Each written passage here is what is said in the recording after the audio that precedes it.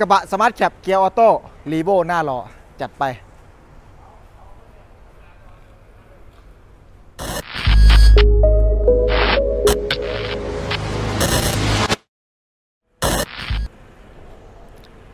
สวัสดีครับผู้ชมครับ อยู่กับสอศักดาที่เดียวที่เดิมที่มงคลคาร์เซ็นเตอร์อุบลราชธานีวันนี้เอา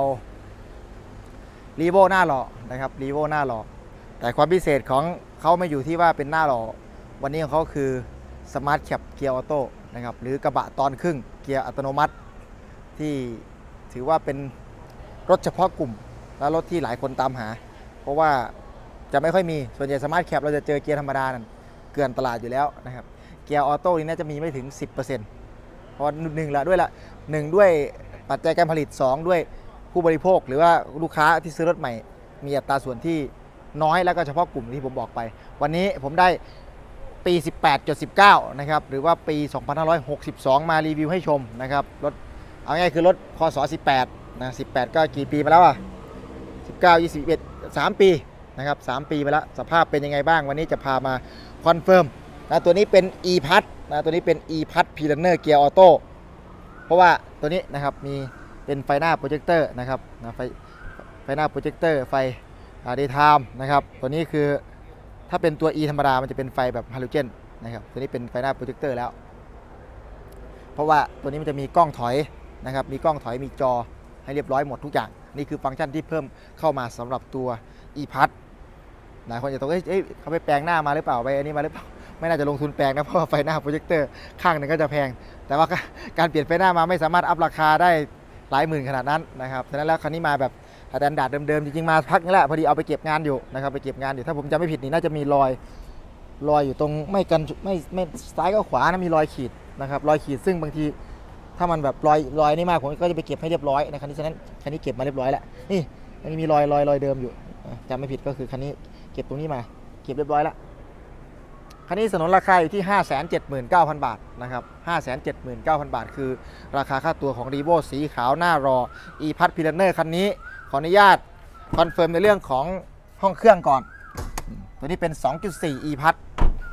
หรือว่าเครื่องยนต์ 2.4 ลิตรดีเซลนะครับ 2,393 cc เกียร์อัตโนมัติ 6 speed 150 แรงม้า นี่คือบล็อกนี้ที่ใช้ใน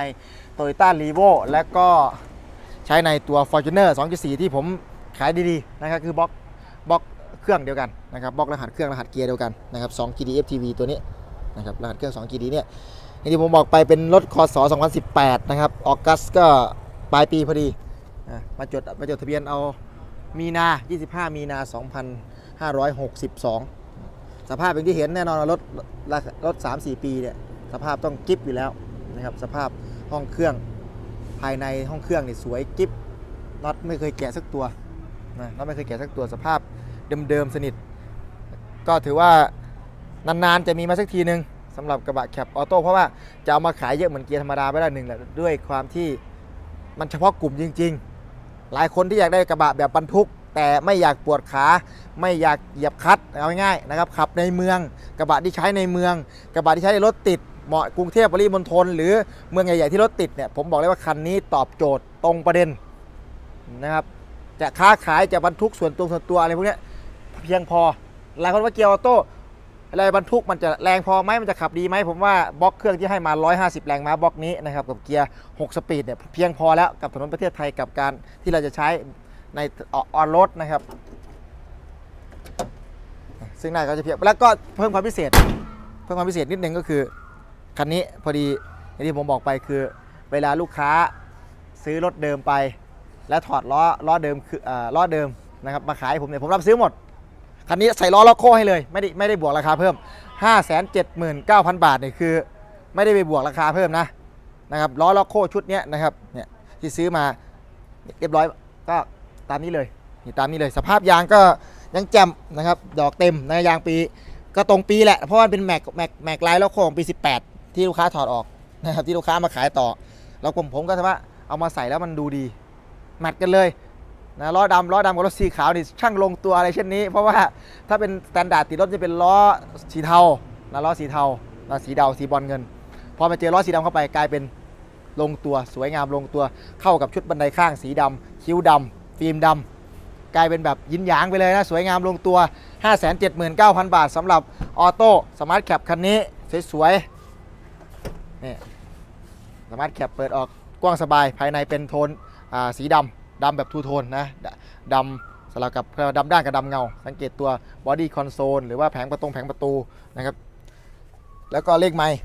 เลขไมล์คันนี้ผ่านไป 3-4 ปีเลขไมล์เท่าไหร่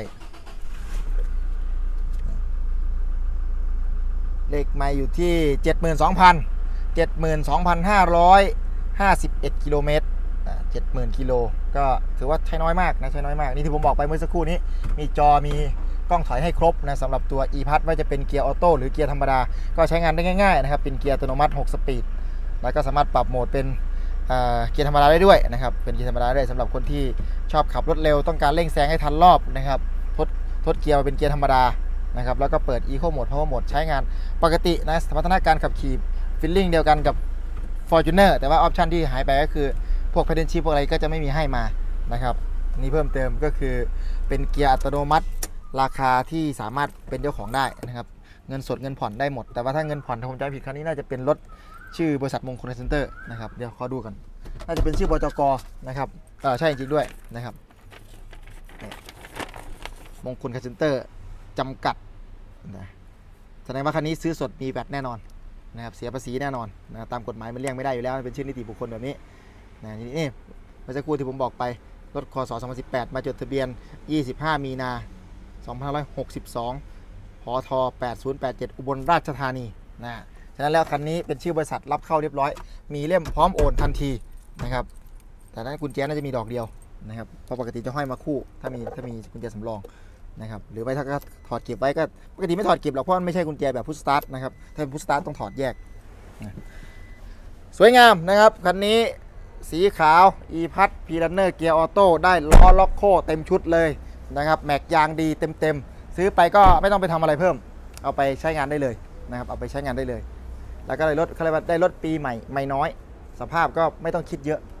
สภาพอย่างนี้ไม่ต้องดูรถก็ผมก็สามารถส่งได้ทั่วประเทศนะครับ สภาพแบบเนี่ยดู